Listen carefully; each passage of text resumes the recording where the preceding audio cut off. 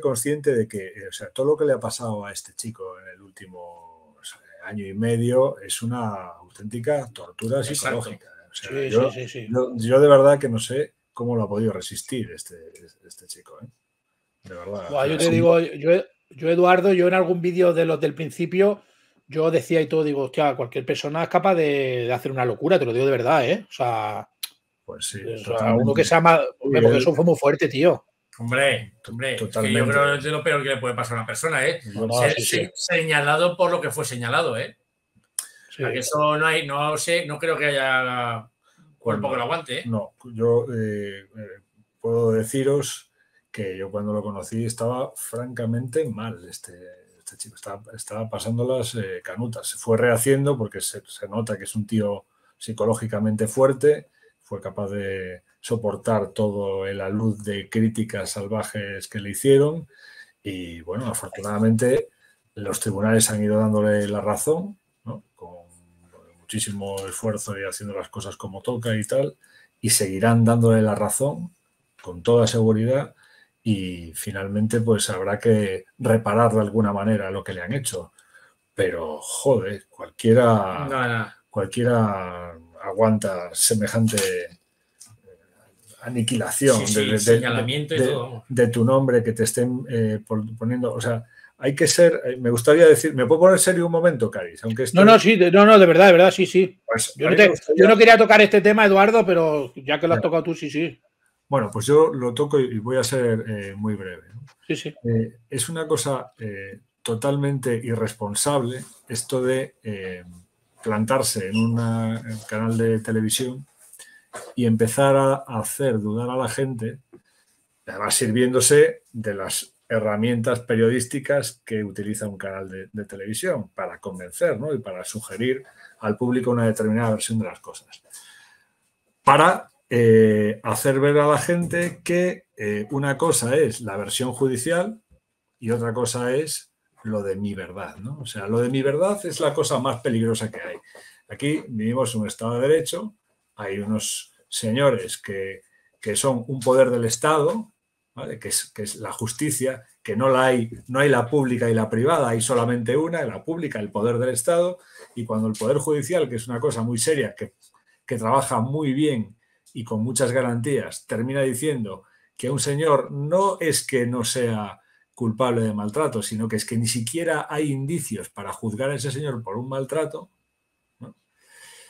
cuando Además, resulta que en esa decisión eh, participan una pluralidad de jueces, magistrados, fiscales, psicólogos que van eh, profundizando en, investigar esos hechos y terminan diciendo que no hay indicios ni siquiera para juzgar a un señor, que luego una persona se pueda plantar en un programa de televisión y con toda la potencia de fuego de una productora, invitando a personajes, participación de hasta de de políticos, etcétera, digan que toda esa investigación judicial se, puede tirar a la papelera porque lo único que importa es lo que diga la, supuesta víctima, entramos en un terreno muy peligroso. Eso no se puede consentir bajo ningún concepto y eso tiene que tener eh, una reacción. Hasta ahora, la única reacción conocida que ha habido ha sido la vía laboral por el despido eh, nulo de, de, este chico, pues porque es que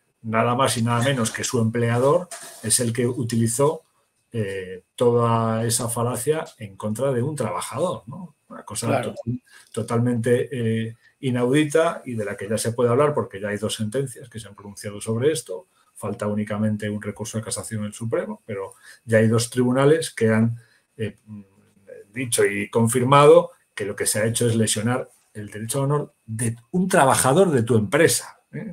Ojo, de lo que estamos hablando. Sí, sí, sí. Eh, pero esto deberá tener más reacciones, porque esto no se agotó con el famoso eh, documental. Es que esto fue un martirio de meses y meses en todos los programas de, la cadena con el mismo tema. O sea, yo he llegado a la conclusión de que en un momento determinado, pues por toda la el, problema enorme, ingente que hay en España con el tema de la violencia contra la mujer, pues era como que hacía falta una especie de, un, turco, ¿no? un maltratador famoso, ¿no?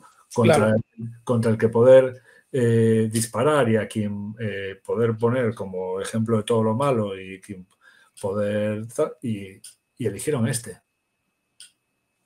Así es. Sí, sí, sí, sí, sí, sí, sí, sí, Y, y les dio asombrosamente, les dio igual todo lo que antes había dicho la Administración de Justicia.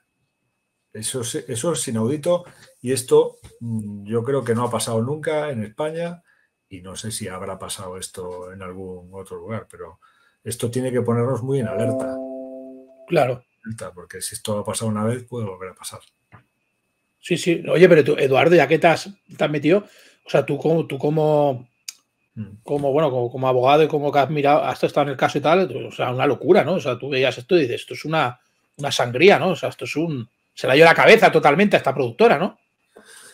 Completamente. Eh, yo tengo que decir que yo esto lo he visto desde dentro. ¿eh? Claro, claro, claro, claro, tú lo has visto, claro, claro. El, asunto eh, laboral lo, trabajó en él una compañera mía de despacho, que es abogada laboralista y que fue la, que llevó el, asunto. Y, bueno, pues yo pues, apoyé ¿no? en, todo lo que pude y estuve con él, varias veces y vi lo que es el sufrimiento este de una persona que le, le quitaron del día a la mañana, del día a la mañana su, medio de vida y nada menos que haciendo de su despido una especie de espectáculo público, en, el, que eh, lo convocan. creo que todo esto se puede hablar de esto, ¿no? Lo, convocan para, para, ser comentarista en un programa y realmente lo que le tenían preparado en la encerrona para escenificar allí, digamos, su expulsión oficial del programa, de la cadena y de su medio, de su, de su profesión, en definitiva, ¿no? Una especie de excomunión ¿no? de, todo el sistema del que en el que él llevaba trabajando, pues no sé decirte, pero ¿qué? 20, 30 años, llevaba eh, siendo un personaje televisivo. En este momento usted no puede volver a, Ya no trabaja aquí y ya no puede volver a salir en ningún programa de la cadena. ¿Por qué? le vamos a dar eh, credibilidad a las manifestaciones de, esta persona. Bueno, pues en el juicio se puso de manifiesto el porqué de todo esto, ¿no? El porqué. Eh, era un negocio y, Y, se acabó. Y además la protagonista del documental pues tenía varias eh, demandas cruzadas con la cadena o con la productora o con sí, Y con tertulianos y tal, sí. Y, bueno, y, a todos les interesaba un, acuerdo en la que todos salían ganando, menos uno que salía no perdiendo, sino que salía, en fin. Pero es que, pero es que te digo una cosa, Eduardo, lo que la gente, la gente, la gente, o sea, que, hay, que en el chat hay gente mayor que yo, tú eres mayor que yo, pero lo que se ha hecho con él, yo no lo he visto nunca en televisión, con un personaje mediático o sea, yo no he visto nada que se asemeje a lo que han hecho con Antonio David. ¿eh? Ni, en la televisión ni, en nada. es, eh, vamos a coger el, problema social más serio que, tenemos en España. ¿no? Yo creo que podemos estar de acuerdo ¿no? que desde que no hay terrorismo en España, pues el, siguiente problema social de enorme entidad es lo que es los temas de violencia contra la mujer, que son gravísimos y que además el tiempo va demostrando que por mucho dinero que se va eh, invirtiendo, que el Estado invierte en dotar un sistema lleno de recursos para que esto no pase, pues año tras año, pues sigue ocurriendo, con lo cual no dan lamentablemente con las, con las claves para tratar el, problema. Y el problema que es un problema que padecemos todos. ¿eh? Claro, claro, claro, sí, sí. A todos y que todos tenemos que poner de nuestra parte para que eso se solucione. Y con eso, que es algo tan grave, ¿no? a lo que hay que tenerle tanto respeto, hacer de repente semejante show, pues no sé, es que me parece algo incalificable. Y creo que mm, flaco favor eh, hacemos si no denunciamos esto de una manera clara y decimos que ya está bien, o sea, que esto no es, no, no es admisible en España, que esos temas hay que tratarlos con muchísimo más rigor, que aquí no se puede buscar un responsable para ponerlo eh, su cabeza en una pica y decir, pues eh, ya está, ¿no? Todos a por él y todos a hacer lo mismo que él y da igual lo que digan los tribunales porque total, seguro que son machistas los jueces o los psicólogos o los peritos y por lo tanto, pues no tienen razón, no tenemos que atender a nada y yo vengo aquí a contar mi verdad y un coro, ¿no? Allí de, palmeros diciendo que sí, que, que por supuesto que ella tiene derecho a contar su verdad y no sé cuánto, pero ¿cómo que su verdad? Su verdad tendrá que ser, si, si esto ha pasado por el filtro de la Administración de Justicia, la verdad es la verdad judicial, no hay una... Claro. ¿eh? Y usted podrá criticar las resoluciones judiciales dentro de los, el sistema de recursos o si no está de acuerdo podrá decir que no está conforme por esto y por esto. Pero de ahí eh, a vender eh, una historia de horas y horas de programa de televisión, tergiversando los hechos, o sea, mintiendo descaradamente, extractando resoluciones judiciales que los que las entendemos se nos abrían los ojos de par en par y decir, pero ¿cómo es posible que, estén eh, engañando a la gente de esta manera, colocando trozos, extractos de sentencias, de autos, pero sin explicar realmente qué es lo que dicen? en el mundo del derecho de los tribunales, pues oye, eh, hablamos un idioma raro, tenemos cosas y tal. Si tú no le explicas a la gente de verdad lo que hay, es muy fácil eh, engañar sobre algo que implica de esa manera, reputación ajena, y colocar a una persona como se le colocó a él, pues yo la verdad es que admirable que él haya conseguido eh, remontar eh, esa situación. Él, su familia y, en fin, la gente, que tiene alrededor. Pero de verdad que ha sido una cosa, pues, una experiencia. Claro, Eduardo, y, tú, y tú, Juan, que la habéis vivido de dentro, flipa. Habéis visto al Antonio David más bajo de la historia en su vida. O sea, una locura lo que habéis llegado a ver. De puertas para adentro, digo, ¿eh? Sí, la verdad es que sí. Claro. La verdad es que sí. La verdad es que para mí, ejemplar cómo se ha sabido eh, rehacer, ¿no?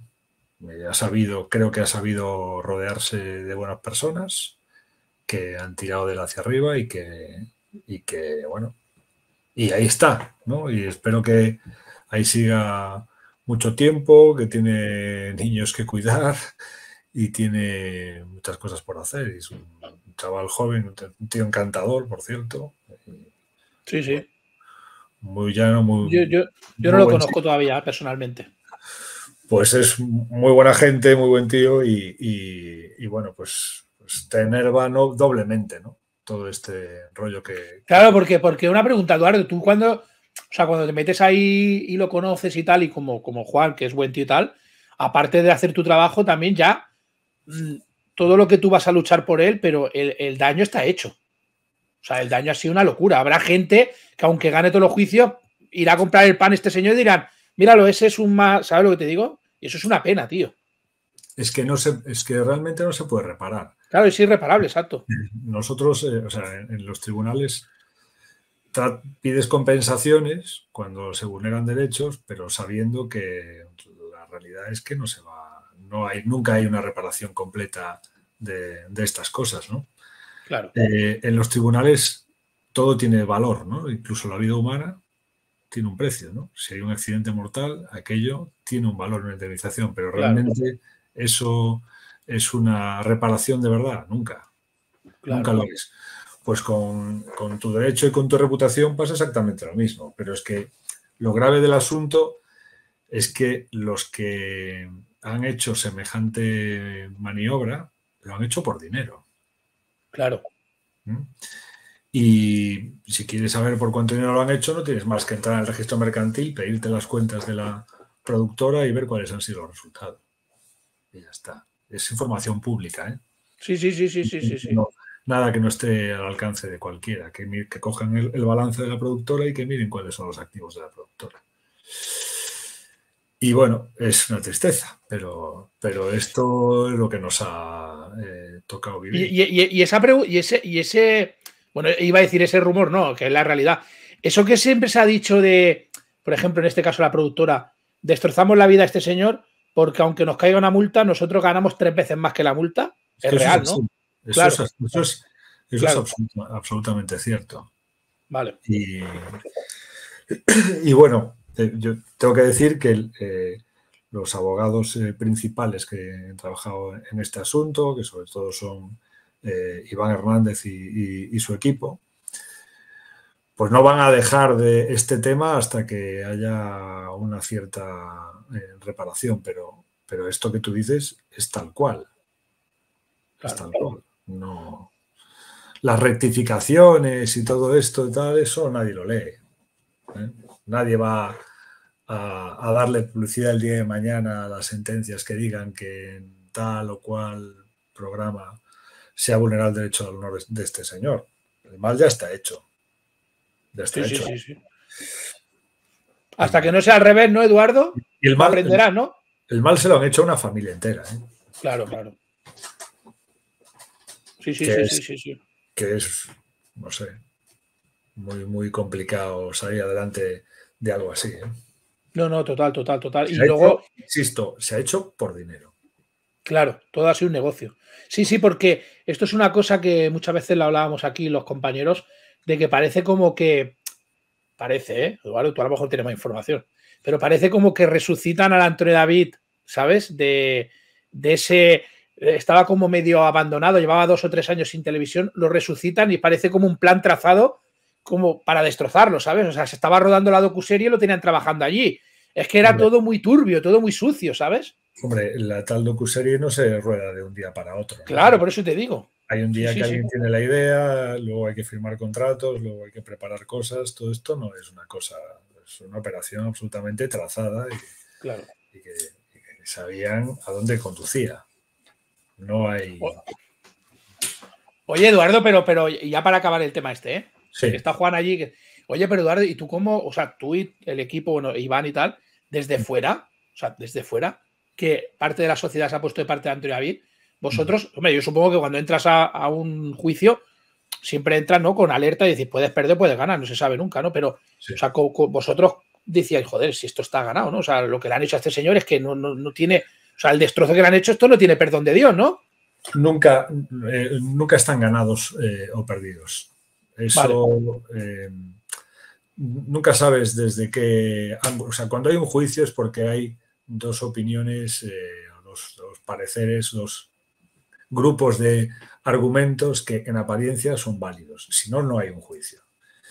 Eh, entonces, cuando llegas a ese punto, tú, tienes un compañero enfrente que, va, que, que se ha preparado igual que tú o más y que va a intentar eh, convencer de que las cosas se tienen que ver de otra manera diferente. Y allí, pues, en fin, ellos tenían también sus, sus argumentos. Lo que pasa es que, bueno, prevalecieron los, los otros argumentos y los que, te puedo asegurar que los argumentos que, llevaron y que pusieron encima de la mesa eh, también eran válidos. Y como las sentencias se han publicado o medio, medio publicado, pues creo que lo puedo un poco explicar, ¿no? O sea, básicamente lo que la productora argumentaba es que todo esto era algo que les había pillado un poco de sorpresa, ¿no?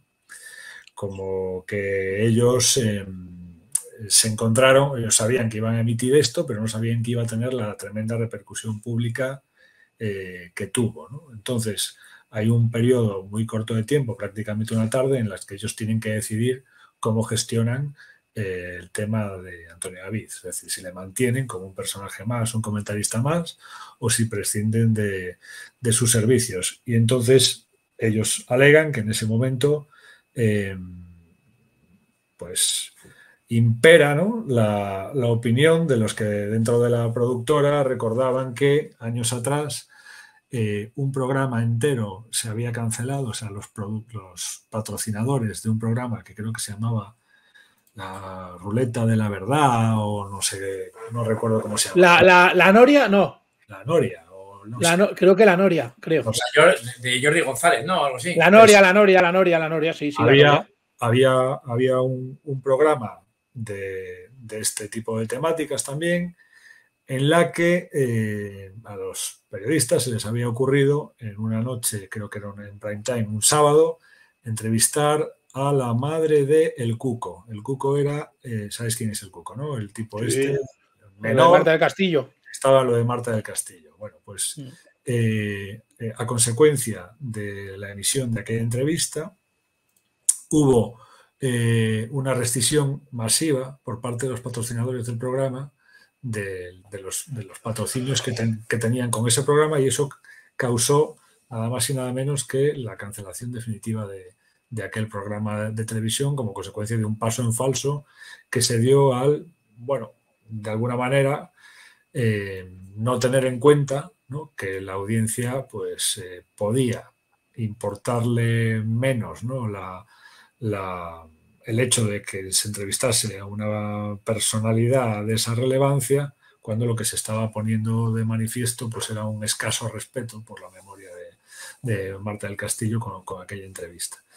Entonces, trasladado a este asunto, pues ellos alegaban pues que, bueno, que, con ese precedente, pues que no tenían otro, otra solución que eh, eliminar a, su comentarista, a su trabajador, ¿eh? a su asalariado, la persona por la que tenían que velar en ese momento, que era, insisto, su trabajador, y eh, hacen, un, despido. ¿Qué pasa? Que ese despido se podía haber hecho sin luz y sin taquígrafos, ¿no? Enviando, enviando una carta, cuando realmente lo que hicieron en, aquel, en aquella edición, creo que es de Sálvame, ¿no? Del día siguiente, en el primer episodio, pues fue un show como un despido, ¿no? Eh, colocando incluso un cartelito sobreimpresionado en el que aparecía el número de teléfono de, para las víctimas de, violencia, con lo cual estaban asociando el contenido de la noticia del despido de Antonio David con el, maltrato de género. seguían esto y no era, no era que hubiesen comprado la, la opinión de la protagonista del documental porque les hubiese convencido más, sino porque era el producto que estaban vendiendo en ese momento. Y para eso, pues había que cepillarse ¿eh? y machacar a, esta persona, a pesar de que la verdad judicial que se había declarado era exactamente la contraria. Claro. Entonces. Increíble, ¿eh? Sí, pero de verdad que no fue nada fácil este tema. No, no, ya, ya te creo, ya te creo, no, no. Complejo y estas cosas yo las cuento muy resumidas, pero son muy laboriosas y hay que, claro. Hay que darle muchas vueltas a las cosas y escribir muchas páginas. También, también, también, también no sé si te acuerdas tú, Eduardo, que venía veníamos de la época, eh, el año antes creo que hubo un, productor, Herbie Weinstein, que fue eh, por el tema del movimiento MeToo y todo el rollo, y, dijeron como que quisieron tener aquí el movimiento MeToo y la cabeza de turco fue Antonio David, ¿no? Sí, bueno, eh, fue efectivamente, fue un MeToo a la española, ¿no? Claro. Eh, cuando digo la española me refiero improvisado y una copia un poco de... Pero bueno, bueno, ya la resumió bien a la española, siempre lo hacemos todo mal nosotros, o sea bien. Sí, bueno, o no, pero, pero realmente eh, fue una cagada como un piano, porque estoy seguro de que aquí también se podía haber hecho un Me de verdad. Pero claro, claro, claro, claro, claro, sí, sí, es el Me y le das semejante vuelta de tuerca y te, y te lo apropias, ¿no? Claro. Y, y, vendes eh, esta cuestión que, que, perdona que lo repite, pero, pero, es que me parece pérfida esto de, de, yo vengo aquí a contar mi verdad. Pero ¿cómo que, ¿cómo que su verdad? Su verdad está avalada por algo. Claro su verdad, esto usted lo ha contado en donde lo tiene que contar, que es en la policía, en la Guardia Civil, en, los juzgados, todo esto está, sí, sí, todo esto lo he contado. No, pues usted se calla. Claro. ¿Mm? Pero lo que no puede es eh, tergiversar. Si quiere criticar las resoluciones, critíquelas, pero venir aquí a decir que todo eso es irrelevante y la obra de los fiscales descerebrados, pues chicos, es una cosa que nos pone un poco en riesgo a todos. O sea, no, no, se puede hacer televisión a cualquier precio. No se puede conseguir anunciantes ni, llevar adelante tu, negocio a cualquier precio. De ninguna manera. No se puede banalizar un problema tan gordo como ese. Sí, sí, y luego, y luego, y luego de esto, que al final ha salido el tiro por la culata a nivel de, la, sociedad ha dado la espalda. O sea, era, querían crear ahí el movimiento y no la gente no ha pasado por el aro y así están en números eh, rojos, eh, las audiencias cayendo en picado y la gente ha creído el testimonio de Antonio David, o por lo menos no han creído el testimonio de Rocío Carrasco, ¿no? Yo no sé lo que la gente ha creído o no ha creído. Eh, estos son cuestiones por afinidad, pues por fidelidad a lo mejor a determinados postulados, porque, bueno, el feminismo pues arrastra una corriente de opinión muy importante y así ha de ser, porque tenemos que, reconocer que los derechos de las mujeres han estado postergados mucho tiempo en muchísimas cosas, ¿no? Pero de ahí a pasarse de frenada y llevar las cosas a, este extremo, pues me parece que no, no, hace un favor a nadie. Sobre la evolución y el futuro, la verdad es que no estoy al corriente de cómo les ha afectado esto a ellos, a la cadena, a sus negocios y tal, y, todo esto. No, no, no, te puedo dar una opinión porque no lo sé. Yo, yo, creo, por, lo que tengo entendido, la protagonista del, del, programa sigue trabajando en la cadena ¿no? y sigue haciendo distintas cosas. Y ahora, ah, digamos que ella eh, se ha convertido también en, protagonista de otros programas y de otras eh, cuestiones. ¿no? Hay una apuesta por ese personaje. Eso seguro que es porque dan los números, no te quepa ninguna duda. Claro, que, claro. Si, que si los números no diesen, pues estarían contando otras cosas o haciendo una televisión de, otro tipo, ¿no? con otros personajes o con otras cuestiones. Sí, sí, sí. Seguro que les interesa. Es una empresa que va con, con criterios económicos muy estudiados y están, no se equivocan. ¿eh? No, no, ya, ya, ya, ya, ya. Hay aquí, hay aquí una pregunta, Eduardo, que le he dicho a Juan, digo, si me mandan super chat, lo voy a empalmar aquí en, la pantalla. Tú contestarás si quieres, ¿eh? Dice Emilio, ¿qué te parece la difusión de la sentencia de Rocío Flores? La verdad es que no tengo, no tengo eh, un criterio eh, sobre esto. Es decir, eh, de todo el de toda la, la, cantidad de litigios, ¿no? que se han producido en el entorno de esta familia y, que tienen su arranque a partir de la emisión del documental, porque todo esto antes ya tenía una actividad judicial tremenda entre ellos dos. Eh, yo solamente he participado y además no como protagonista, que lo ha hecho mi, compañera Isabel, que es una magnífica abogada laboralista. El único asunto en el que yo he tenido algún tipo de intervención personal es en el tema del, juicio laboral eh, por el despido. De todo lo demás, estoy al corriente, pero de una manera muy, muy, por encima, muy, muy, superficial. Entonces, ni siquiera sé cuál es la sentencia de Rocío Flores. Eh, supongo que se refiere a, a, un, a, una. Supongo que se refiere a, un problema que tuvo entre, que hubo entre ella y su madre, ¿no?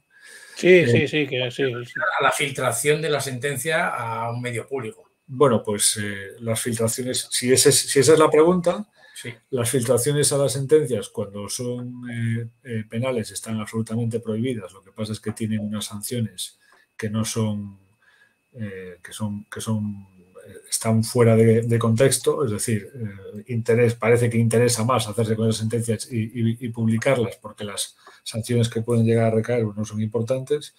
Eh, y si son civiles, pues, pues bueno, pues incluso a veces tiene sentido que se publiquen las sentencias civiles. Lo que está claro es que si sus protagonistas pues, no han querido, no lo han autorizado, pues eso también tiene, es un daño, ¿no? Eh, claro que no se debería de, publicar. Claro, porque como en el chat están diciendo que era menor de edad, por eso están tirando, ¿sabes? Están diciendo. Ah, bueno, si hay, si hay un, menor implicado, bajo ningún concepto se puede publicar eso.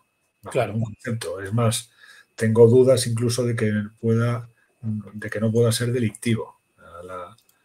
Todo lo que son datos personales de menores y hechos que dañen a menores están absolutamente protegidos y eso no se puede filtrar de ninguna de las maneras independientemente de cuando se filtró, la persona ya era mayor. Da igual. Ah, claro.